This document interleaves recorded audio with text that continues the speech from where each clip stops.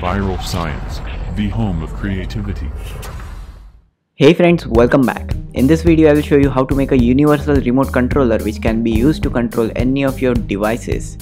So without wasting time, let's quickly get started with this video. So for this project you will need an Arduino,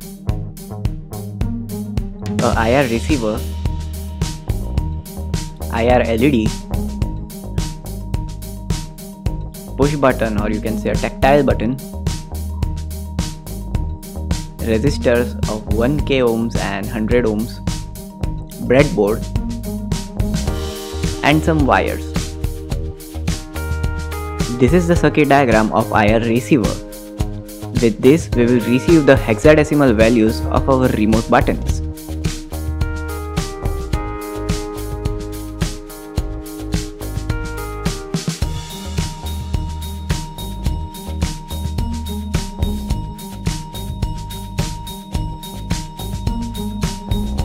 So after connecting all the wires, connect it to your computer. Open examples, IR remote and open DOM2 file. Now upload this to your Arduino board. Select the board, select the old bootloader and select the port and now upload the code.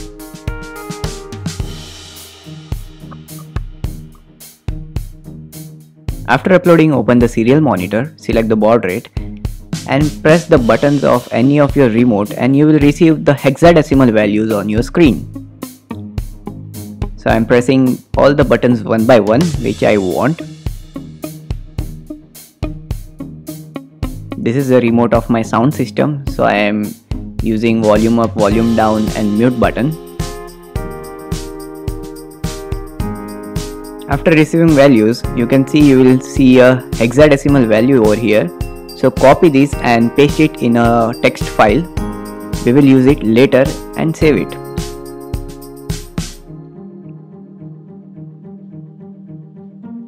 Now follow this circuit diagram and make your remote controller. In this circuit diagram, I am showing you 10 button connections. But in this video, I will be using only 4 buttons. So if you want, you can use all of 10. The code is for all the 10 buttons.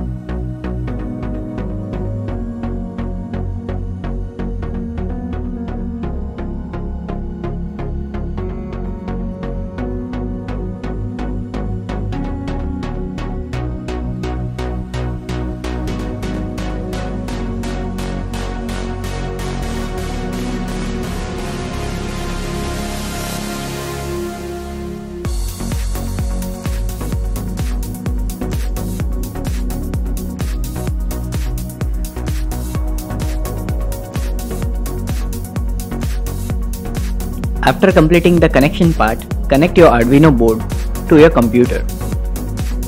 Now open my code. so here are all the pins defined. We are using IR send to send the values. And over this line you will find this hexadecimal values. So you have to replace these hexadecimal values with the one you noted before. So copy one by one and paste it over here so these are all the hexadecimal values which we received from our original remote controllers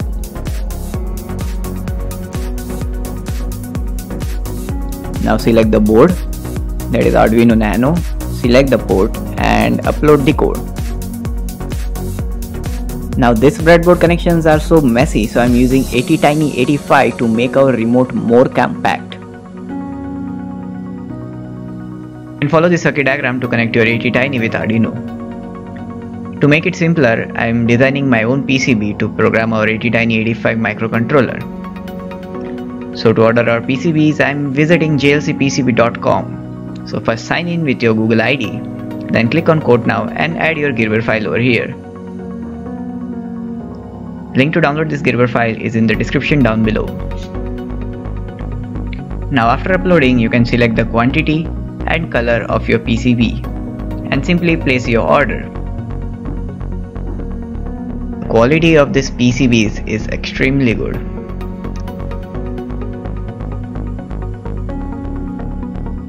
So now we'll quickly place our components and start soldering this PCB.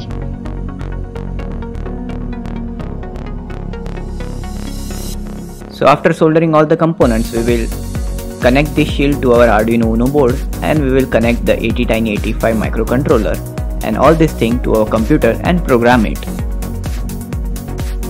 So after programming our ATtiny85 microcontroller is ready to work. So I'm using this zero PCB board and design my PCB with 5 buttons.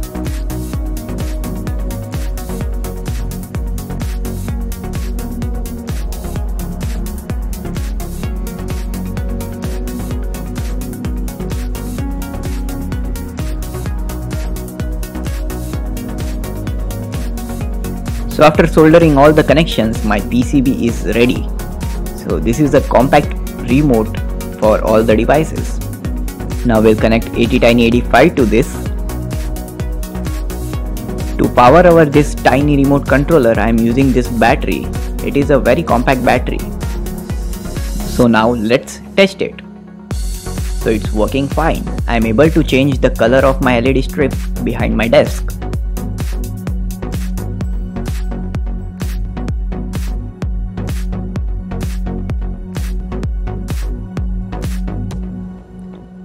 Also I am able to control the volume of my speakers. So friends, I hope you like this small project then do hit that like button and also share this video with your friends and also don't forget to subscribe to my channel for more such videos and I will see you in the next one. Do subscribe and press bell icon to get instant notification for new video.